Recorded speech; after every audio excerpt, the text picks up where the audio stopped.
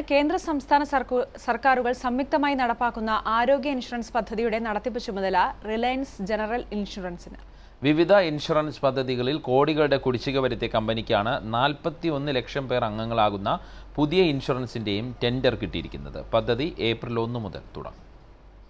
പ്രധാനമന്ത്രി ജൻ ആരോഗ്യ യോജനയും സംസ്ഥാന സർക്കാരിന്റെ കാരുണ്യ ആരോഗ്യ സുരക്ഷയും സംയോജിപ്പിച്ച് നടപ്പാക്കുന്ന സമഗ്ര ആരോഗ്യ ഇൻഷുറൻസിന്റെ ടെൻഡറാണ് റിലയൻസ് ജനറൽ ഇൻഷുറൻസിന് കിട്ടിയത്.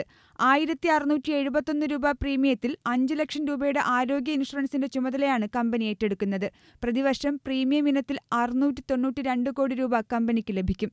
എന്നാൽ ആർ എസ് ബി വൈ ചിസ് അടക്കമുള്ള ഇൻഷുറൻസ് പദ്ധതികളുടെ നടത്തിപ്പ് ചുമതലയുണ്ടായിരുന്ന ഈ കമ്പനി കൃത്യസമയത്ത് പണം നൽകാതെ അറുപത്തൊന്ന് കോടി രൂപയിലധികം കുടിശ്ശിക വരുത്തിയിരുന്നു ഇതോടെ അർബുദ ചികിത്സയ്ക്കടക്കമുള്ള ജീവൻ രക്ഷാ മരുന്നുകളും ഹൃദയ ശസ്ത്രക്രിയയ്ക്കുള്ള സ്റ്റെന്റ് ഇംപ്ലാന്റുകൾ എന്നിവ വിതരണം ചെയ്യുന്ന കമ്പനികൾക്കും പണം നൽകാനാകാത്ത അവസ്ഥയിലായി ആശുപത്രികൾ. മെഡിക്കൽ കോളേജ് ആശുപത്രികളുടെ പ്രവർത്തനം താളം തെറ്റിയെന്ന് വ്യക്തമാക്കി ആശുപത്രി അധികൃതർ തന്നെ രംഗത്തെത്തി. ഇതേ കമ്പനിയുടെ കൈകളിലേക്കാണ് സമഗ്ര ആരോഗ്യ ഇൻഷുറൻസിന്റെ ചുമതലയും വന്നു ചേർന്നത്. ഇൻഷുറൻസ് കമ്പനികളിൽ നിന്നുമുള്ള പൈസ കിട്ടാതിരുന്നു കഴിഞ്ഞാൽ ആശുപത്രിയിൽ വലിയൊരു പ്രതിസന്ധിയാണ് ഉണ്ടാകുന്നത്.